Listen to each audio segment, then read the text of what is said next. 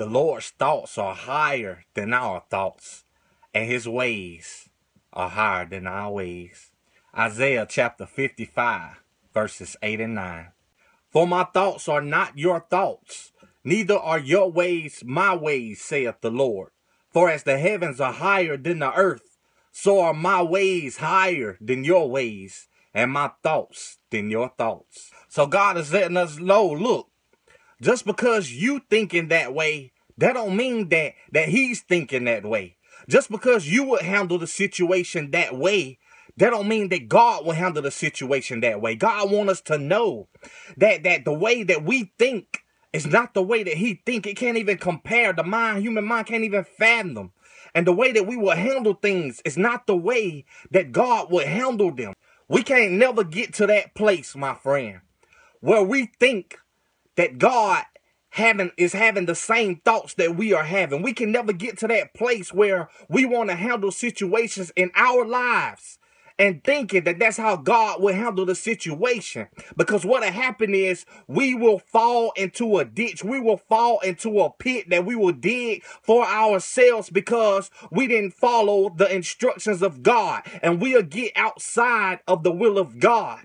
And I don't know about you, my friend, but from experience, I know what it's like to get outside of the will of God. I know what it's like to try to handle things the way that I wanted to handle them. And because I'm a Christian, I feel as if, well, this is the way the Lord will handle it. And I will end up in a situation that only God can get me out of when I shouldn't even have to bother God about this situation because I should have just seeked him to begin with. Proverbs chapter 3.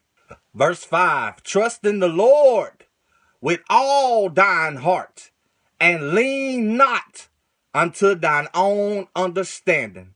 In all thy ways acknowledge him, and he shall direct thy paths. Be not wise in thine own eyes. Fear the Lord and depart from evil.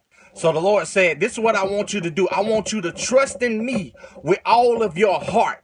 I don't want you to lean on your own understanding. I don't want you to try to handle these situations by yourself. I don't want you to be wise in your own eyes. I don't want you to think that you can figure this out by yourself. I don't want you to think that this is the way that I want you to go or this is the place that I want you to be if that's not my will for you because you would get outside of my will. So the Lord said, what I want you to do is I want you to trust in me with all of your heart. Don't trust in your own heart because your heart is deceitful above all things. It's desperately wicked.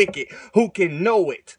But rather what the Lord want us to do, he said he want us to acknowledge him in all of our ways and he will direct our paths. Now and what it means to acknowledge it means to to admit something or to recognize or to confess. So when we acknowledge the lord in all of our ways we have to first recognize lord I, if i put my hands in this situation i'm gonna make it worse than it already is. Lord if i try to figure this out by myself lord i am gonna end up in a place that i'm going to regret Oh Lord, I admit and, and, I confess, oh Lord, that I have tried to do things myself in my life, oh Lord, and I've only made things worse, oh Lord. I've caused myself to end up in destruction, oh Lord. So I admit, Lord, I confess that I need you, Jesus. I need you to help me, Lord God.